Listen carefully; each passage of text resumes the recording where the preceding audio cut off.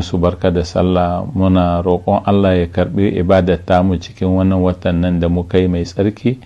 Muna fatan allah ya sabkar da rahama eh, da kwanciyar hankali cikin ƙasanmu allah ya sa wannan damanan da take gabanmu ta kasance damana mai alheri eh, inda 'yan ƙasa za su samu ni'ima.